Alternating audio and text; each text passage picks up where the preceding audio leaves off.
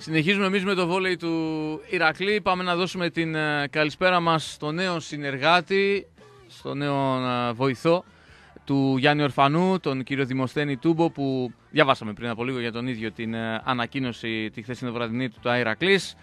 Καλησπέρα, coach, από την ώρα για μπλε. Και καλή αρχή Καλη... στον Ηρακλή, καλή δύναμη. Ευχαριστούμε, ευχαριστούμε. Καλησπέρα και σε εσάς. Ευχαριστώ πολύ για τη φιλοξενία. Εμείς ευχαριστούμε και από χθες νομίζω ότι πήρατε την πρώτη γεύση από τον Ηρακλή. Βέβαια την πολύ μεγάλη γεύση θα την πάρετε στο γήπεδο όταν θα έχετε και την παρουσία του κόσμου. Γιατί ξέρετε το τι ακριβώς θα, θα συμβαίνει. Ναι. Έχουμε παίξει αρκετές φορές αντίπαλοι. Είναι ένα γήπεδο που δεν θες να έρθεις ως αντίπαλος, αλλά λατρεύεις το να παίζεις μέσα σε αυτό και να σε στηρίζει αυτός ο κόσμος. Ε, ήρθε η ώρα να το ζήσετε και αυτό, όχι μόνο του αντιπάλου το, το συνέστημα, αλλά και της ίδιας της ομάδας. Θα, θα γίνει και αυτό. Θα γίνει. Ε, καλορίζικος να πω και ο Ουκρανός, καθώς ανακοινώθηκε σήμερα ο Νεβιαντόμσκι με το δύσκολο επίθετο. Περιμένουμε προφανώς και κάποιες άλλες συμπληρωματικές, αν μπορώ να τις χαρακτηρίσω, κινήσεις για να ολοκληρωθεί το ρόστερ, για να είστε κι εσείς έτοιμοι να δουλέψετε έτσι πάνω στην, αυτό, στην προετοιμασία. Αυτό ακριβώς. Μένουν κάποια παιδιά να έρθουν να συμπληρωθεί το ρόστερ και μπορώ να πω ότι είμαστε έτοιμοι. Πρώτα απ' όλα θα ήθελα να ευχαριστήσω προσωπικά τον Γιάννη τον Ορφανό και τον πρόεδρο τον Μάκη τον Καλαϊτζίδη που μου δίνουν τη δυνατότητα να βρίσκομαι στην οικογένεια του ηρακλειου σε μια τόσο μεγάλη και ιστορική ομάδα. Και από εκεί και πέρα πιστεύω ότι θα έχουμε μια καλή χρονιά.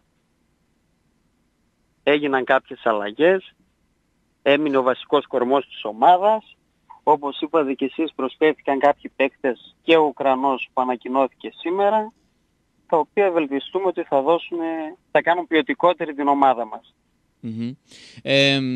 τι συναντήσατε από χθες που ουσιαστικά ξεκινήσατε την, την προετοιμασία; Χωρίς τους ξένους, ε, ακόμα με, τα, με τους Έλληνες, με τα, με τα παιδιά εδώ.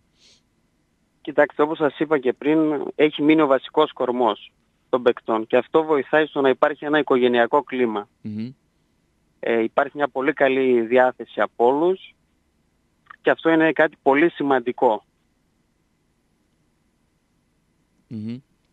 Ε, στο δικό σας κομμάτι είναι επίσης σημαντικό το ότι ασχολείστε και με την εθνική και με αυτές τις ηλικίες, γιατί φέτος γίνεται κάτι που είχαμε καιρό να δούμε στον Ηρακλή. Αρκετά παιδιά από την εφηβική ομάδα, ο Στεφανίδης, ο Καλαϊτζίδης, ο Βαρβεσιώτης, ο Κεσεσίδης, συγχωρέστε με αν ξεχνάω κάποιον, είναι από παιδιά που θα παίξουν και φέτος στους εφήβους που μαζί... Και τις αναπτυξιακές Φυσικά και νομίζω είναι και είναι το, το, το κουμπί σας αυτό έτσι, κάτι που ξέρετε πάρα πολύ καλά να δουλεύετε και με αυτές τις ηλικίες.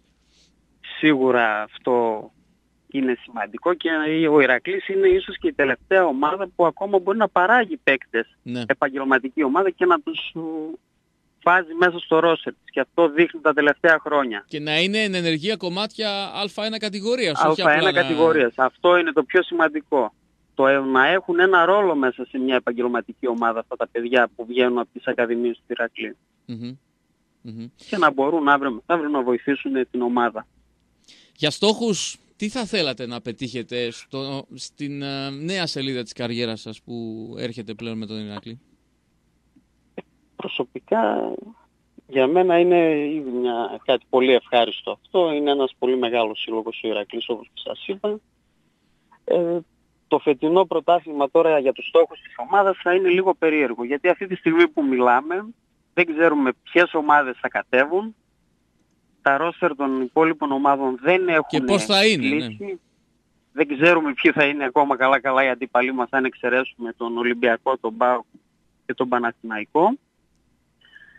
Ε, αλλά από εκεί και πέρα σίγουρα θέλουμε να κάνουμε πράγματα και να πάμε καλύτερα από ό,τι πήγε πέρσι αυτή η ομάδα.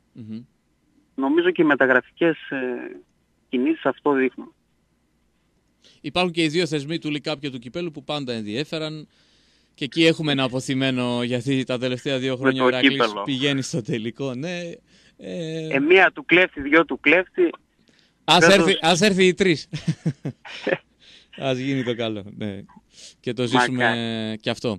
Ε, πλέον, coach, από εδώ και πέρα μιλάμε για καθημερινές προπονήσεις και ε, πότε θα περιμένουμε τα πρώτα φιλικά; Έχετε ήδη προγραμματίσει, έχετε ένα σχέδιο καταστρώσει μαζί με τον κύριο Ορφανό; Περιμένοντας βέβαια και τους ξένους να, να ενσωματωθούν. Έτσι. Αυτό ακριβώς. Σιγά σιγά ξεκινήσαμε. Χθες ήταν η πρώτη προπόνηση.